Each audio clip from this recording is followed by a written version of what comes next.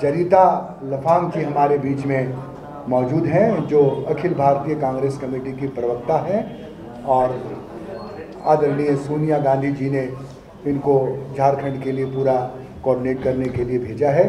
हमारे साथ मौजूद हैं आदरणीय प्रवक्ता लाल किशोर नाथ सहदेव जी। हमारे साथ मौजूद हैं आदरणीय प्रवक्ता डॉक्टर राजेश गुप्ता जी। जैसा कि आप सभी को मालूम है कि इन दिनों राज्य में जो राज्य का मुख्य मुद्दा है, उससे भटकाने के लिए भारतीय जनता पार्टी के तमाम नेता जो दिल्ली के हैं, चाहे राज्य के मुखिया हो या राज्य के जितने भी भाजपा नेता हैं, वो लगातार प्रयासरत है कि जो मूल मुद्दे हैं, उससे भटका करके लोगों को इधर उधर की बात करके गुमराह करने का प्रयास करें और उसके बाद वो दावा करते हैं झारखंड की खुशहाली और समृद्धि का। मैं आपसे आज चर्चा करने जा रहा हूँ इस राज्य का जो सबसे बड़ा मुद्दा है, बेरोजगारी, जिसको लेकर के राज्य का नौजवान आज सबसे ज़्यादा परेशान हाल है।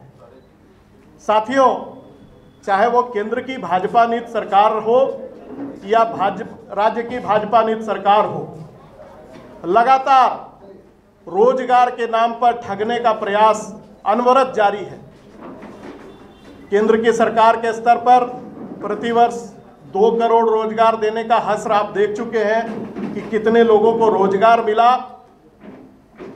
और राज्य की सरकार की हम अगर चर्चा करें तो लगातार ठगवर दास जी की सरकार ने यहाँ के नौजवानों को सिर्फ़ और सिर्फ़ ठगने के लिए कई प्रकार के आयोजन किए। स्किल समिट का आयोजन हुआ। राज्य सरकार की जो सबसे बड़ी नाकामी है कि पूरे पाँच वर्ष के कार्यकाल में एक भी झारखंड लोक सेवा आयोग की परीक्षा वो नहीं करवा पाए। अन्य जो लोक सेवा आयोग के स्तर पर परीक्षाएँ ली जानी चाहिए थी 50-50 विज्ञापन निकाले गए। लेकिन उन विज्ञापनों का हस्र ढाक के तीन पात हो गया। आज तक एक भी परीक्षा पूर्ण नहीं हो सकी। आंकड़ों पर अगर गौर करेंगे तो बार बार हर मंच से, चाहे वो भाजपा के राष्ट्रीय अध्यक्ष हो, आज झारखंड के नौजवानों को दिल का टुकड़ा बता करके अपने उद्बोधन की शुरुआत कर रहे हैं। लेकिन मैं बता दूँ कि झारखंड के नौजवान अब उनके झूठे आश्वासनों के झांसे में आने वाले नहीं हैं। मौजूदा सरकार के मुखिया रघुवर दास जी नाम तो है और इस चुनाव में मर्यादा पुरुषोत्तम के नाम वाले इस व्यक्ति ने सिर्फ़ और सिर्फ़ यहाँ के नौजवानों को ठगने के लिए झूठे विज्ञापनों तक का प्रकाशन करवाया। दावे किए गए कि हमने लाखों की संख्या में रोज़गार देने का काम किया गया। लेकिन मैं चंद आंकड़े आपके समक्ष रखना चाहता हूँ। हम एक रचनात्मक विपक्ष हैं और हमने बराबर सच्चाई से झारखंड की जनता को अवगत कराने का काम किया है। और इस चुनाव में भी हम सच्चे आंकड़े आपके सामने रखने जा रहे हैं कि सरकार के स्तर पर मात्र सत्ताईस हज़ार चार सौ तेईस नियुक्तियाँ ही हुई हैं।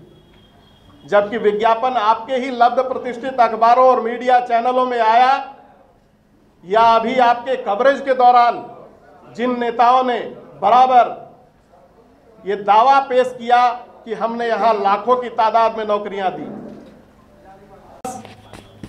और अंडमान और निकोबार में दो लक्षद्वीप में 248, पुडुचेरी में दो सौ उनतीस और गुजरात में एक है। ये आंकड़े मैंने आपके समक्ष इसलिए रखे कि सभी राज्यों में झारखंड से ज़्यादा मनरेगा की मजदूरी दी जा रही है। यानी मजदूरों का भी शोषण कर रही है ये सरकार। सरकार की परिकल्पना राज्य की आधी आबादी को स्वरोजगार से जोड़कर उस परिवार को सामाजिक और आर्थिक रूप से सशक्त करने की है। बड़े बड़े पोस्टर लगते हैं। दीनदयाल अंत्योदय योजना, राष्ट्रीय ग्रामीण आजीविका मिशन, सरकार के इस सोच को मूर्त दे, रूप देने में वरदान साबित हो सकता था। अगर सरकार की नीयत ठीक होती, हमारी माता बहनें भी आज सशक्त होती, मगर ऐसा हुआ नहीं।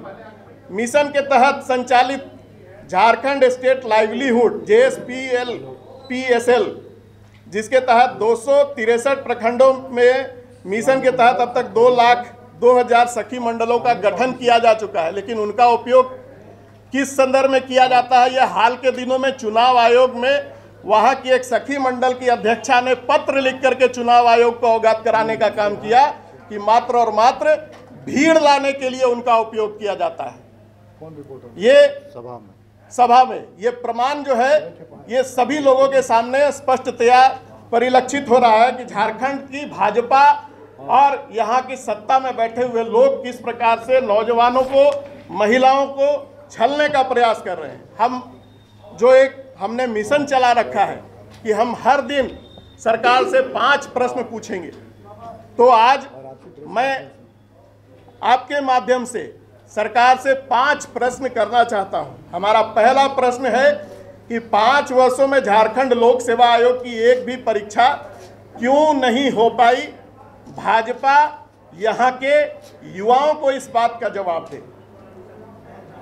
नई शिक्षक नियुक्ति और टेट नियमावली में बदलाव कर राज्य के बाहरी अभ्यर्थियों को क्यों लाभ पहुँचाया गया, यह हमारा दूसरा प्रश्न है। नियोजन नीति का निर्धारण कर राज्य को ही 11 और 13 जिलों में बांटकर यहाँ के ही नौजवानों को, यहाँ के रोज़गार से वंचित करने का जो प्रयास किया गया वो क्यों किया गया? भाजपा इस बात का जवाब दे। स्किल सबमिट के नाम पर यहाँ की गरीब जनता की गाढ़ी कमाई के टैक्स के पैसे का दुरुपयोग कर लोगों को रोज़गार के नाम पर ठगने का प्रयास क्यों किया गया? भाजपा इस बात का जवाब दे।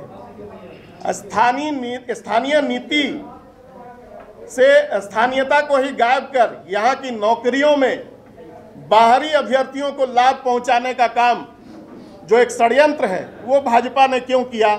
इस बात का जवाब भारतीय जनता पार्टी को चुनाव के दौरान युवाओं को देना चाहिए। शुक्रगुजार है ये जो इंटरनल जजमेंट जो आई है उसके लिए, क्योंकि देखिए, आप देख अगर आप देखोगे, चाहे वो मणिपुर हो, चाहे वो मेघालय हो, चाहे वो गोवा हो, चाहे वो कर्नाटका हो हॉर्स ट्रेडिंग चल रही थी, जो बीजेपी कर रही थी। इस बार उन्होंने ऐसी किया कि जो रात को सवेरे साढ़े पाँच बजे कौन कैसे कब कैसे गवर्नर रूल हटाया गया किसी को पता ही नहीं था।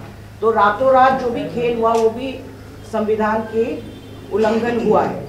सो so, हमें आशा है कि कल या परसों जब भी हमारी सरकार बनेगी हमें आशा है कि इस बार हॉर्स ट्रेडिंग मेजोरिटी थी ही नहीं तो और हम आशा करते हैं कि आने वाले दिनों में कि एक बहुत स्थिर सरकार बनेगी और आप लोग सही आंकड़े यहाँ के पाठक को, यहाँ के दर्शक को दिखा सकें। बहुत बहुत धन्यवाद।